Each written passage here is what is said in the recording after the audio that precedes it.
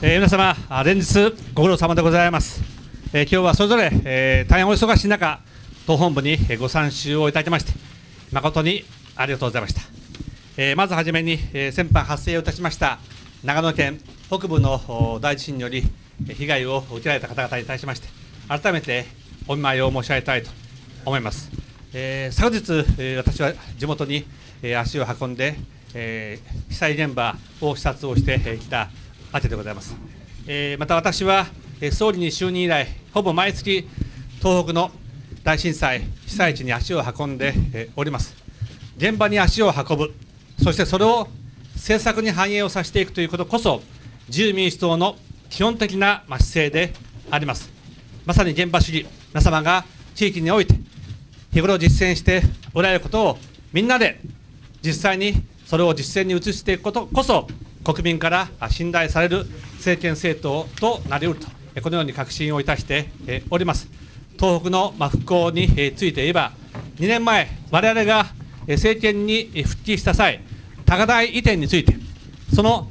移転計画すら全く一つもできておりませんでしたしかし現在はどうなっているかといえばあれから2年95%がすべてに計画ができて、95%がすでに着工しているわけであります。現場に足を運んで、しっかりと政策を作り、実行していくのが私たち自由民主党であります。我々は政権復帰後、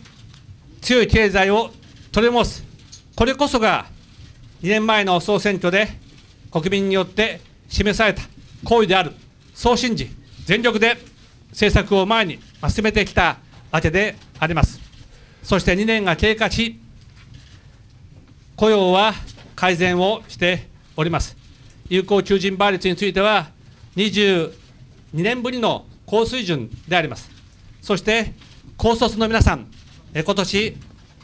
我々が政権を取る前と比べて10%就職率が良くなって、内定率が良くなっております。9月までに内定が決まった方、約半数が内定が決まりました。これは15年ぶりのことであります。おそらくもっともっと今の段階では内定率上がっていることでしょう。かつて民主党政権時代は多くの高校生の皆さんが就職を決めることができずにお正月を迎えていた。こういう状況を私たちは大きく変えることはできました。そして賃金においては今年の4月、平均5%以上上がったのも、ま、事実で、ございます。そして倒産件数においては、自民党政権ができて、民主党政権時代と比べて、2割倒産件数が減少しました。そして現在の倒産件数について言えば、24年ぶりの低い水準になっています。私たちが進めている政策は間違っていない。このことについては皆さんどうか自信を持って訴えていただきたいと思います。しかし、まだまだ中小零細企業の皆さん、あるいは地域に十分にこの私たちの政策、経済成長の温かい風が行き届いていないことも事実でありますし、私たちもそのことは十分に承知をしております。だからこそ、地方創生を進めていく、個人の消費を感知、あるいはもっともっと中小小規模自動車で働いている皆さんがやっと経済本当に良くなったね、そう思ってもらえるように、我々はしっかりと政策をさらに加速化させていかなければいけない、こう決意をしているわけでございます。その中にあって、来年、消費税を10月から8%から10%へ上げていくことは、特に地方の経済、中小小規模事業者には大きな打撃となる可能性がある、消費を冷え込まさせる可能性があり、景気回復、景気の回復を腰折れさせる危険性がある、我々はそう判断したわけでございます。しかし、財政再建も進めていかなければいけません。まあ、ですから私たちは18ヶ月、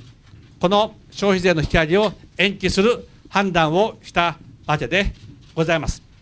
これしか私たちは道はない、こう思っています。民主党は厚い中間層を作る、こう言っています。私たちのやり方は、私たちの3本での政策によって、今、多くの企業が最高の収益を上げています。企業の収益が上がり、そしてそれが雇用の拡大につながり、さらには賃金の上昇につながる、消費がもっと拡大し、さらに景気が良くなっていく、まあ、これが景気の好循環であります。今、私たちはその入り口に入ることはできました。民主党が言ってるのは、そうした過程を抜きに、いきなり国民の皆さんの懐を温める、こんな手品のような方法があるんですか？またばらまきをあるんでしょうか？それはまさに3年前私たちが見た光景であります。こんなことは長続きするわけがありません。ですから私たちはしっかりとこの景気の好循環を回していく。来年再来年そしてそのまた翌年4月に賃金上昇賃金アップの機会があります。年1回しかありませんがこうした機会に必ず賃金の上昇を果たしていくということであります。我々が政権を取ってまさに今年の4月が1回目のチャンスだったと言ってもいいでしょう。昨年はまだ政権を取ってから4ヶ月しか経っていませんから政策効果が現れる前であります。1年経ったらもう言い訳はできません。ですから今年の4月2%しっかりと上がったんです。それは私たちが設けている物価安定目標を上回る成果と言ってもいいと思います。しかし残念ながら消費税が引き上がる分にはまだ追いついていないわけでありますが来年再来年そしてその翌年しっかりと今進めている政策を進めていくことによって賃金は間違いなく上がっていきます。そのことによってさらに国民生活は豊かになっていきます。皆さんこの道しかないんです。そしてやっと私たちはあのデフレから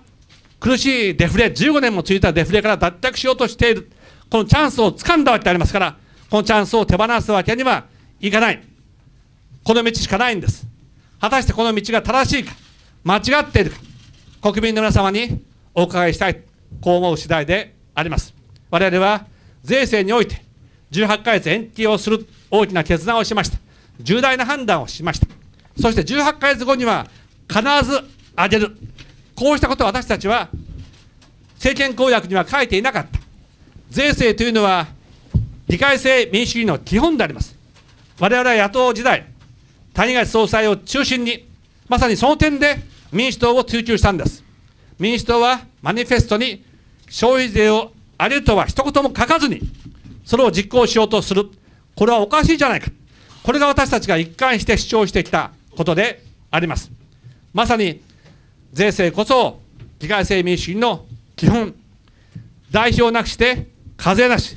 これはアメリカの独立戦争の大義であります。だからこそ私たちは国民に信を問う。当然のことであろうとこう思っております。しかし2年前と同じようにこの年末に総選挙。大変国民の皆様にはご迷惑をおかけをすることになります。しかし皆様のお力をいただいて